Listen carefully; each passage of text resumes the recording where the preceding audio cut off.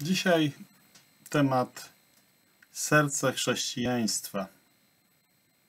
Chrystus sam, Jego osoba i Jego słowa. Dla szerszego studium tego tematu zachęcam do zapoznania się z tą książką.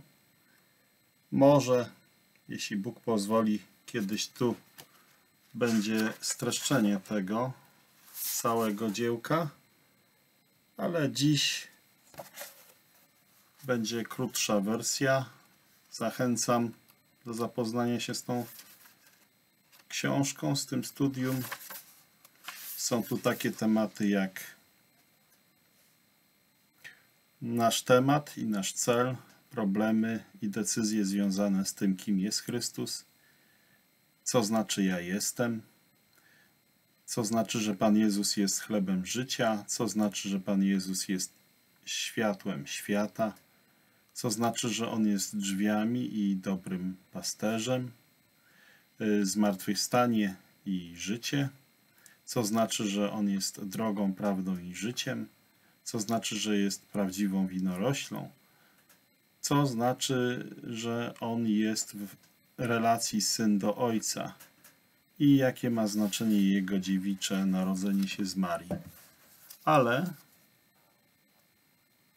zanim kiedyś będzie okazja się z tą książką zapoznać, dzisiaj takie jak gdyby streszczenie o sercu chrześcijaństwa. Sercem chrześcijaństwa jest oczywiście Pan Jezus Chrystus. Nikt inny, nic innego nie może być. I tu posłużymy się Jana 17 rozdziałem jako takim punktem odniesienia. Dlatego bardzo proszę się z tym rozdziałem samodzielnie zapoznać. Rozdział 17 Ewangelii Jana. Przeczytam cały 17 rozdział. To powiedziawszy, Jezus podniósł oczy swoje w niebo i rzekł: Ojcze, przyszła godzina, uwielbi syna swego, aby i syn Twój uwielbił Ciebie.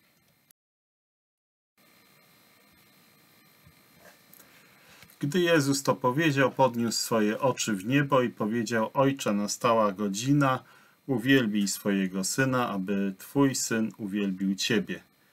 Jak dałeś mu władzę nad każdym ciałem, aby dał życie wieczne tym wszystkim, których mu dałeś.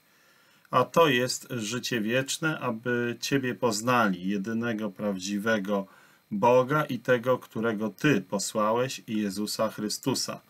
Ja Ciebie uwielbiłem na ziemi, dokonałem dzieła, które mi dałeś, abym tego dokonał. A teraz Ty, Ojcze, uwielbij mnie u samego siebie tą chwałą, którą miałem u Ciebie, zanim powstał świat. Objawiłem imię Twoje ludziom, których mi dałeś ze świata, Twoimi byli i mi ich dałeś i zachowali słowo Twoje. Teraz poznali, że wszystko, co mi dałeś, jest od Ciebie, bo dałem im słowa, które mi dałeś, oni je przyjęli i prawdziwie poznali, że od Ciebie wyszedłem i uwierzyli, że Ty mnie posłałeś. Ja za nimi proszę, nie, za, nie proszę za światem, ale za tymi, których dałeś mi, bo są Twoimi. Wszystko moje jest Twoje, a Twoje jest moje i uwielbiony jestem w nich. Już nie jestem na świecie, ale oni są na świecie, a ja do Ciebie idę, Ojcze Święty. Zachowaj ich w imieniu Twoim, którym Ty ich mi dałeś, aby byli jedno jak my. Gdy byłem z nimi, zachowywałem ich w imieniu Twoim, które mi dałeś, ustrzegłem ich i ani jeden z nich nie zginął, tylko syn zatracenia, żeby się wypełniło pismo. Teraz do Ciebie idę i mówię to na świecie, aby radość moją mieli pełną w sobie. Ja dałem im słowo Twoje, a świat ich nienawidzi, dlatego że nie są ze świata, jak też ja nie jestem ze świata. Nie proszę, abyś ich wziął ze świata, lecz byś ich zachował od niegodziwca. Nie są ze świata, jak ja nie jestem ze świata. Poświęć ich w prawdzie Twojej, słowo Twoje jest prawdą. Jak Ty mnie posłałeś na świat, tak i ja posłałem ich na świat. Za nich ja poświęcam samego siebie, aby oni też poświęceni byli w prawdzie. Nie tylko za nimi proszę, lecz za tymi również, którzy przez ich słowo mi uwierzą, aby wszyscy byli jedno, jak Ty, Ojcze, we mnie, a ja w Tobie, aby oni też byli w nas jedno, aby świat uwierzył, że Ty mnie posłałeś. Chwałę, którą mi dałeś, ja dałem im, aby byli jedno, jak my jedno jesteśmy. Ja w nich, a Ty we mnie, aby byli całkowicie w jedności, aby poznał świat, że Ty mnie posłałeś i że ich umiłowałeś, jak też mnie umiłowałeś. Ojcze, chcę, aby ci, których mi dałeś, także byli ze mną tam, gdzie ja jestem, aby oglądali moją chwałę, którą mi dałeś, bo umiłowałeś mnie przed założeniem świata. Ojcze sprawiedliwy, świat Ciebie nie poznał, ale ja Ciebie poznałem i oni poznali, że Ty mnie posłałeś. Zostało im objawione imię Twoje i jeszcze je będę objawiał, aby miłość, którą mnie umiłowałeś, w nich była i ja w nich. Gdy Jezus to powiedział, przeszedł z uczniami swoimi przez potok Kedron, gdzie był ogród, do którego wszedł on i jego uczniowie. Jak widać, całość tej modlitwy trwa około 5 minut. Pan Jezus w najdłuższej zapisanej swojej modlitwie na kartach Pisma Świętego modlił się nie dłużej niż 5 minut tekstu zapisanego w tekście Pisma Świętego. To ma wiele do powiedzenia tym, którzy chcą wiedzieć, czy dłuższe modlitwy są uzasadnione, jeżeli nawet sam Pan Jezus Chrystus nie modlił się dużo dłużej, to warto wziąć pod uwagę ten wzorzec i zastanowić się nad swoim sposobem wznoszenia głosu do Boga. Niektórzy lubią zajmować się służbą Pawła, a nawet niektórzy chcieliby zajmować się nią wyłącznie. Co jest błędem? Zajmowanie się jednostronnie tylko jedną ze służb. Pamiętam, że przy pewnej okazji rozmawiałem z pewnym bratem w moim domu i on zrobił mi taką uwagę. Opowiada pewien, opowiedział pewien doświadczony chrześcijanin. Dopilnujmy, abyśmy utrzymywali równowagę prawdy, ponieważ wszystkie natchnione przez Boga myśli w równowadze prawdy dają boską różnorodność. Apostoł Paweł nie jest w konflikcie z Janem, ani Jan nie jest w konflikcie z Pawłem. I można to powiedzieć o wszystkich pisarzach. Istnieje błogosławiona jedność boskiego natchnienia biegnąca od Księgi Rodzaju do objawienia i dobrze jest nasycić swoje serce Słowem Bożym. Jana, 17 rozdział, który przed chwilką był przeczytany, wykracza poza jakiekolwiek 45-minutowe lub krótsze przemówienie. I czułem, że zwracając się do tego fragmentu z Ewangelii Jana 17, przypomina się bardzo mocno o sercu chrześcijaństwa. Można zapytać chrześcijan, do czego zmierzamy. Jan został obdarowany przez Ducha Świętego, aby napisać swoją Ewangelię, listy i księgę objawienia w czasie, gdy straszliwe nasiona rozpadu, porażki i odejścia stawały się widoczne w zgromadzeniu Bożym, uformowanym lub doktrynalnie obsługiwanym przez świętych apostołów i proroków. Tak więc, gdy Jan otrzymał swoją służbę, został natchniony przez Ducha Bożego, aby przynieść świętym Bożym to, co wcale nie spoczywało na ich odpowiedzialności. Został on dany, aby służyć im błogosławionym objawieniem osób w bóstwie, relacji, w których one wiecznie trwają oraz błogosławieństwa i intymności uczuć właściwych tym relacjom. On był dany, aby wydobyć tę służbę, gdy zgromadzenie jako odpowiedzialne naczynie uformowane szczególnie przez służbę apostoła Pawła zdawało się zawodzić w odniesieniu do jego praktyki w rękach ludzi. A jeżeli to było prawdą wtedy, to o ileż bardziej jest to prawdą dzisiaj. Lecz to, co apostoł wydobywa w swej błogosławionej służbie, jest tym, co nie zna porażki, co nie zna załamania. To, co będzie trwało, gdy cały odpowiedzialny kurs zostanie zakończony. I to jest podstawa, żeby to rozumieć, że to, co będzie trwało, gdy chwalebne królestwo naszego Pana Jezusa Chrystusa będzie trwało przez tysiąc lat, gdy On odda królestwo temu, który jest Bogiem i Ojcem, aby Bóg mógł być wszystkim i we wszystkich podczas wiecznego Dnia Bożego, gdzie błogosławieństwo wiecznego życia i wiecznej miłości będzie trwać. Dzięki Bogu wiedza o tych rzeczach jest nam dana teraz. Serce chrześcijaństwa.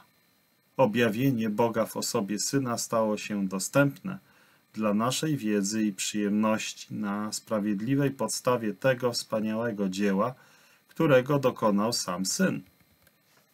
Jak czytamy w Jana 13 rozdział, pierwszy werset. Przed świętem Paschy, gdy Jezus poznał, że nadeszła Jego godzina, aby odszedł z tego świata do Ojca. W Ewangelii Jana są trzy Paschy. Mamy to opisane w rozdziale drugim, szóstym i od 11 do 19. Ta Pascha jest ostatnia opisana w 13 rozdziale Jana. Są trzy rzeczy, na które chcielibyśmy zwrócić uwagę, a następnie przekazać dalej. Po pierwsze, jego godzina. Ten błogosławiony temat przewija się przez karty Ewangelii Jana. Mowa jest o różnych godzinach, o różnych porach. Nie jest to nasz temat, dlatego nie rozwodzę się nad nim, ale po prostu wspomnijmy to dla zachęty i błogosławieństwa, abyście Państwo mogli szerzej o tym sobie doczytać przy innej okazji albo posłuchać. Przejrzyjcie strony Ewangelii Jana i weźcie pod uwagę odniesienia do pory albo godziny, jego pory albo jego godziny w szczególności. To widzimy między innymi w takich miejscach jak Ewangelia Jana 7 rozdział 30 werset, Ewangelia Jana 8 rozdział 20 werset, Ewangelia Jana 13 rozdział 1 werset. Istnieją dwie błogosławione cechy o tej porze albo godzinie, jak wspomniano tutaj. Po pierwsze, nie mówi się o wypędzeniu, chociaż faktycznie Pan Jezus Chrystus, On został wypędzony, ale mówi się, że powinien odejść z tego świata. Jest to język należący do tego Boga, który dał Pana Jezusa i do tego Syna Bożego, który przyszedł na świat z misją do wykonania. A gdy ta misja została wykonana, On odszedł z tego świata cicho, spokojnie, łagodnie, pewnie, w błogosławionej świadomości faktu, że to, co przyszedł zrobić, gdy przyszedł na świat, zostało chwalebnie wykonane. On wyszedł od Ojca, jak mówi nam Ewangelia Jana 16, rozdział 28, werset. Od Ojca i podróżował przez świat pogrążony w grzechu. To był świat pogrążony w grzechu a jego ślady były nieustannie śledzone przez tych, którzy próbowali udowodnić jego moralną porażkę. Dzięki Bogu nie mogli tego zrobić. Dzięki Bogu nie mogli tego uczynić. Nawet sam diabeł nękał go na każdym kroku, ale skoro Pan Jezus wyszedł od Ojca, to odejdzie z tego świata do Ojca. To wskazywało na tę błogosławioną prawdę, że nic nie mogło wejść, aby przeszkodzić przerwać, złamać jego trwałą społeczność z Ojcem. Pan Jezus był tak blisko Ojca przy końcu swej błogosławionej drogi, jak był na początku i jak był przed przyjściem na świat. Dziękujmy Bogu za łaskę, która daje nam ze Słowa Bożego, aby stanąć tutaj w wyznaniu błogosławionej prawdy o trwałości tej relacji, w której on zawsze trwał z Ojcem, zanim zaczął się czas. Ujmę to w bardzo prostym zdaniu. Wierzę w wieczne synostwo naszego Pana Jezusa Chrystusa i wierzę w to nie dlatego, że są bracia, którzy tego uczą, chociaż jestem bardzo wdzięczny, że tego uczą. Wierzę w to, ponieważ Słowo Boże tego uczy. I jak czytamy w Ewangelii Jana 13, rozdział 1, werset, dalsza część wersetu, tak zwana część B, umiłowawszy swoich, którzy byli na świecie, do końca ich umiłował. Początek Ewangelii Jana mówi nam o tym, że on był na świecie, a świat stał się przez niego, a świat go nie poznał. Przyszedł do swoich, a swoi go nie przyjęli. Odrzucenie naszego Pana Jezusa Chrystusa zostało bardzo szybko zapisane w kartach Ewangelii, na kartach Ewangelii Jana. Ale kiedy czytamy te wspaniałe słowa w Ewangelii Jana 13, czytamy, że mimo to było coś na świecie, co On nazywał swoim. Kiedy przyszedł na świat, zostało to przez Niego wyniesione na światło i zostało to przez Niego i dla Niego wyniesione do Boga. Jest na świecie wyjątkowa grupa ludzi, dzięki Bogu, która istnieje do dziś, a mówią o niej te wspaniałe słowa. Jego własność. Jego własność. Jeśli Jego własne rzeczy w, w Ewangelii Jana, pierwszy rozdział, dziesiąty werset, z Ewangelii Jana, pierwszy rozdział, dziesiąty werset, były oddalone od Niego, jeśli Jego własny naród, Izrael, odmówił Mu, to tylko ujawniło wieczny cel. Wieczny cel, który możemy wyraźnie tutaj zauważyć. On wywiódł na światło dzienne w świecie, który ostatecznie go ukrzyżował, unikalne grono. Grono, które on z radością posiada jako swoiście jego. Wyrażenie umiłował ich aż do końca. Umiłował ich aż do końca nie oznacza po prostu, że umiłował ich do końca jego własnej drogi, do końca swej drogi. To oczywiście obejmuje również to, ale to nie jest tylko koniec. Jest takie wyrażenie w innej części Nowego Testamentu. Zwracam na nie tylko uwagę, aby podkreślić siłę tego słowa.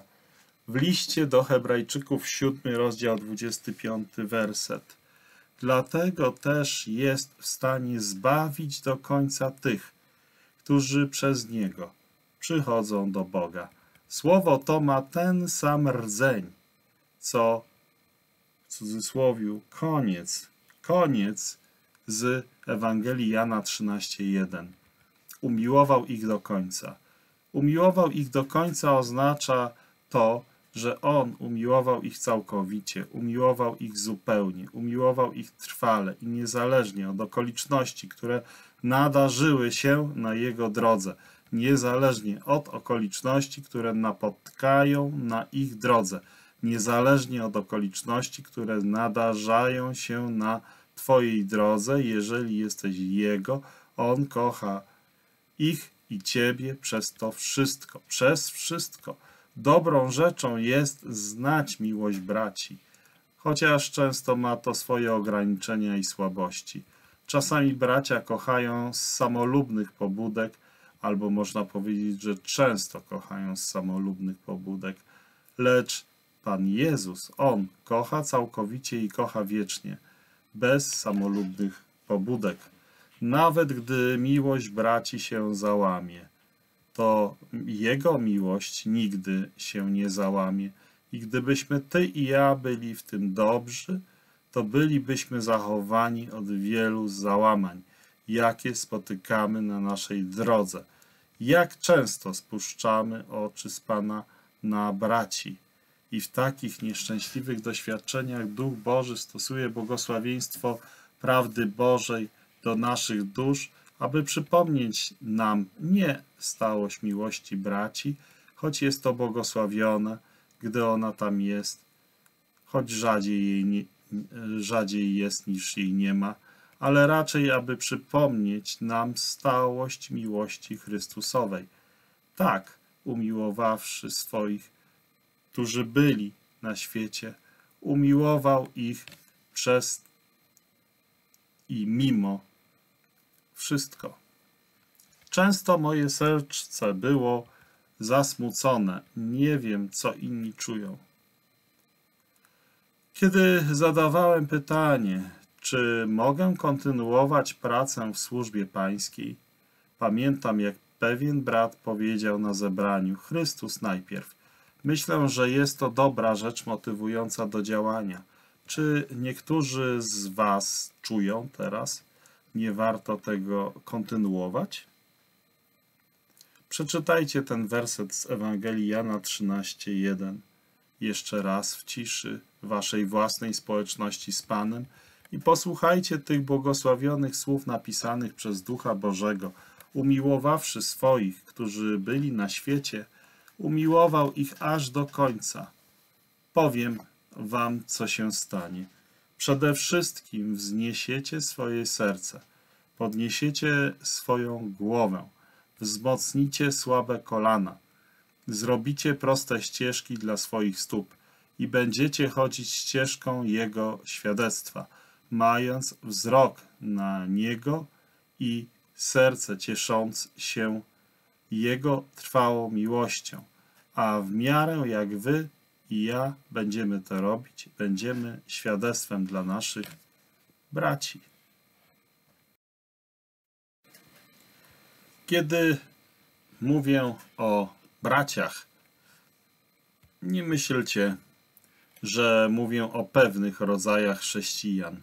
Bracia, o których mówię, to ci, o których mówił Pan Jezus Chrystus, o których mówił Pan, kiedy powiedział: Idź do moich braci. Ewangelia Jana, 20 rozdział, 17 werset. Jeżeli chcesz być mocą dobra pomiędzy braćmi, idź z Chrystusem, a w wyniku tego nie będziesz mógł nie iść z braćmi. Otrzymasz świeżą wiedzę o nich i świeże uczucie do nich, gdy będziesz rozmyślał nad znaczeniem tych słów. Jana 13:1 i słodyczą miłości Chrystusowej. Tak więc serce chrześcijaństwa jest nam dane w posłudze apostoła Jana, tutaj na końcu tej niezwykłej części jego Ewangelii, zaczynającej się od rozdziału 13, a kończącej się na rozdziale 17, często nazywanym ostatnimi słowami naszego Pana Jezusa Chrystusa. Mamy zapisane słowa naszego Pana Jezusa Chrystusa w modlitwie do Ojca. Teraz chcę trochę o tym powiedzieć. Te słowa wypowiedział Jezus i podniósł oczy ku niebu i rzekł: Ojcze, nadeszła godzina. Uwielbi syna Twego, aby i syn Twój uwielbił Cię. Tak mówi Słowo Boże w Ewangelii Jana 17, rozdział, pierwszy werset. Z wersetu czwartego dowiadujemy się, że on również powiedział: Ja Ciebie uwielbiłem. Ale w tym pierwszym wersecie on mówi: Aby i syn Twój mógł Cię uwielbić. W tym momencie nasz błogosławiony Pan miał na uwadze wstąpienie do obecności Ojca i pragnął, aby tam i stamtąd mógł uwielbić Ojca. W wersecie czwartym on mówi w czasie przeszłym i mówi Sławiłem Cię na ziemi. Jakie wspaniałe życie prowadził, jakie wspaniałe świadectwo złożył. Uderzyło mnie to ponownie podczas czytania tych wersetów. W wersecie szóstym on mówi objawiłem Twoje imię, a w wersecie 26 on mówi ogłosiłem Twoje imię. Jaka jest różnica? Manifestacja różni się od ogłoszenia. Manifestacja jest pokazaniem, ogłoszenie jest powiedzeniem i mamy te dwie błogosławione rzeczy, które zajmują nas, gdy poruszamy się po stronach Ewangelii Jana – Mamy życie naszego błogosławionego Pana przeżyte w piękny sposób i jest to manifestacja. i mamy Jego własne świadectwo, słowa, które wypowiedział, czyli objawienie. Objawiłem, oświadczyłem. Tak mówi Pan Jezus. On mówi dalej, oznajmiłem im imię Twoje i oznajmię je.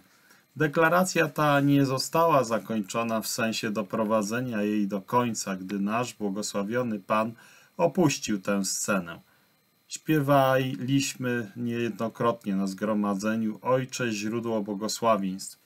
Wzięliśmy na nasze usta imię Ojca wielokrotnie. Dlaczego? Ponieważ w tych naszych zwycięskich własce sercach jest uznanie dla imienia Ojca i to błogosławione imię zostało nam ogłoszone przez naszego błogosławionego Pana z Jego miejsca w chwale. On kontynuuje teraz to ogłoszenie imienia Ojca, o czym czytaliśmy wielokrotnie. Ogłosiłem i będę ogłaszał. Zauważmy tutaj to błogosławione określenie. Uwielbij syna Twego, aby i syn uwielbił Ciebie, aby i syn Twój uwielbił Ciebie. Pismo Święte mówi o imionach i tytułach w odniesieniu do naszego Pana Jezusa Chrystusa. Imiona opisują to, kim On jest. Tytuły opisują to, co On czyni.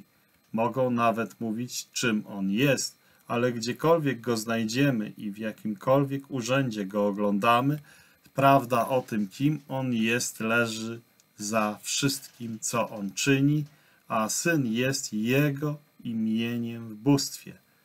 Tak więc mówi tutaj na podstawie tego, kim jest chwale swojej osoby jako syn. I mówi do ojca: Uwielbiaj syna twego, aby i syn twój uwielbił ciebie. On pragnie, mimo że miał odejść z tego świata do ojca, nadal chwalić ojca.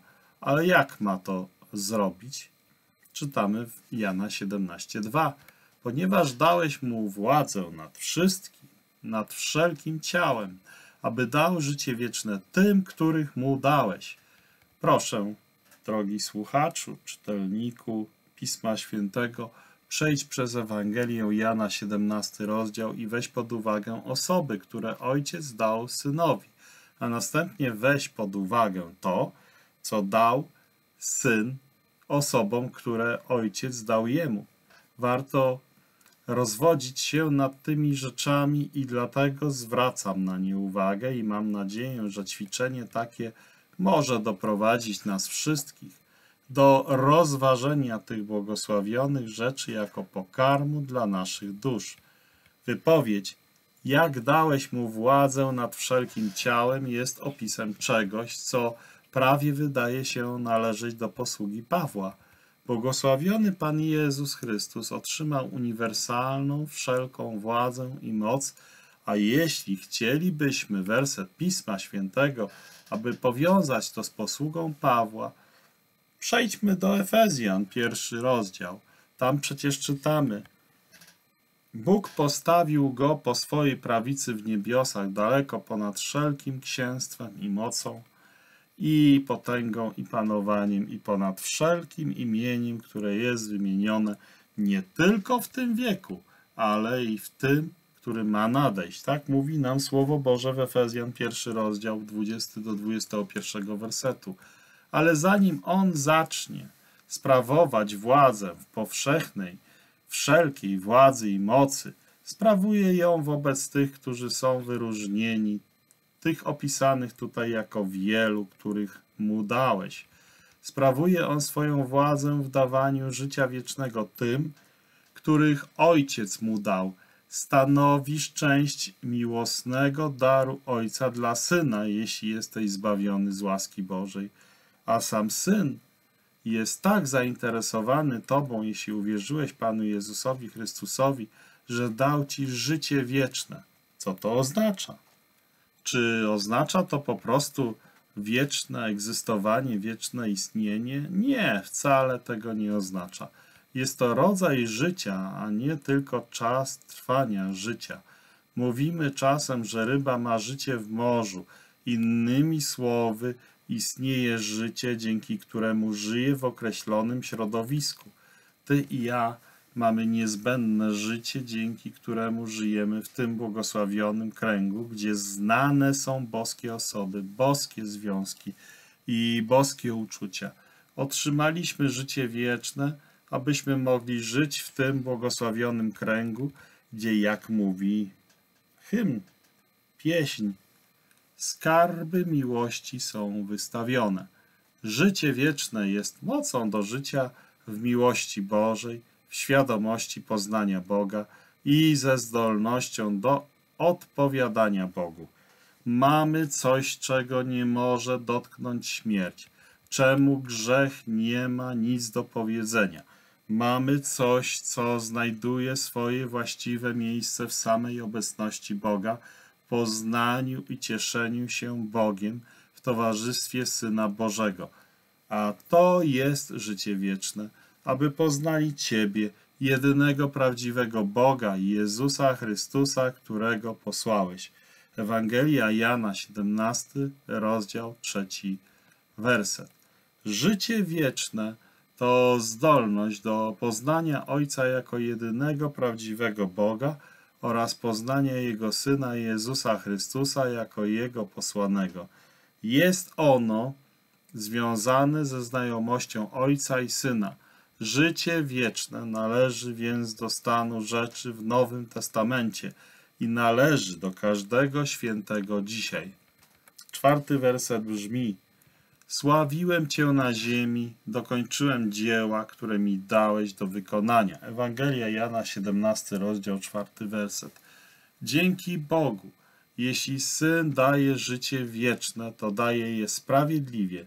Jeśli daje je na błogosławionym, nieskazitelnym fundamencie, to daje je na podstawie tego, że uwielbił Ojca tu na ziemi i dokończył dzieło, które Ojciec dał mu do wykonania. To zaprowadziłoby nas na krzyż. Pan Jezus powiedział wcześniej w tej Ewangelii: Moim pokarmem jest pełnić wolę tego, który mnie posłał i dokończyć jego dzieło. Tak mówi Ewangelia Jana 4, rozdział 34, werset. Tutaj antycypując, będąc w swoim duchu poza krzyżem i spoglądając wstecz, biorąc pod uwagę niektóre z błogosławionych rezultatów tego wydarzenia, powiedział: Sławiłem Cię na ziemi, dokończyłem dzieła, które mi dałeś do wykonania. Tak więc, gdy On mówi o tych których Ojciec mu dał, gdy mówi o daniu im życia wiecznego, to mówi o tych błogosławionych rzeczach na podstawie tego, że sprawiedliwa podstawa została przez niego już położona, a on uczynił to na miejscu zwanym Golgotą albo Kalwarią. Nieco dalej w tej Ewangelii Jezus, niosąc swój krzyż, wyszedł. Tak mówi nam Słowo Boże w Ewangelii Jana, 19 rozdział, 17 werset. Co za wspaniałe, obrazowe stwierdzenie. Stwierdzenie nie do opisania co do jego ogromnej głębi. Dzięki Bogu to właśnie na tej podstawie mówi Pan Jezus Chrystus. Dokończyłem dzieła, które mi dałeś do wykonania. I jak mówi werset piąty, a teraz, Ojcze, uwielbij mnie sam ze sobą, uwielbij mnie sam ze sobą tą chwałą, którą miałem sam z Tobą, zanim świat powstał. Tak mówi Ewangelia Jana, 17 rozdział, 5 werset. Syn od zawsze trwał we współrówności współwieczności bóstwa z Ojcem. Dlaczego więc prosił Ojca o uwielbienie Go czymś, co było Jego zanim powstał świat? Z tego błogosławionego powodu, że zszedł z okoliczności chwały bóstwa. Był kołysany w żłobie tutaj, został znaleziony w ubraniu jako człowiek. Zajął miejsce sługi i nigdy nie wyszedł z tego miejsca. Chwała Jego imieniu. Pozostaje człowiekiem na zawsze – i w błogosławionej doskonałości Jego oddania i zależności w trwającym człowieczeństwie prosi o to, co jest zawsze jego we współrówności z Ojcem. Ale teraz, jako człowiek, o to prosi. Chwałę, którą mi dałeś, dałem im, aby byli jedno, jak my jedno jesteśmy. Tak mówi Ewangelia Jana w 17 rozdziale, 22 wersecie. Mogę zadać pytanie, ponieważ on mówi o tych, których ojciec dał mu ze świata. Czy to jest chwała z wersetu 5, 17 rozdziału?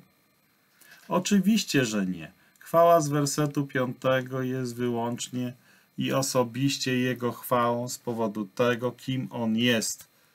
A ta chwała, ta chwała nie będzie dzielona z nikim. Ale tutaj On mówi o chwale, która jest Mu dana i którą On daje tym, których Ojciec Mu dał.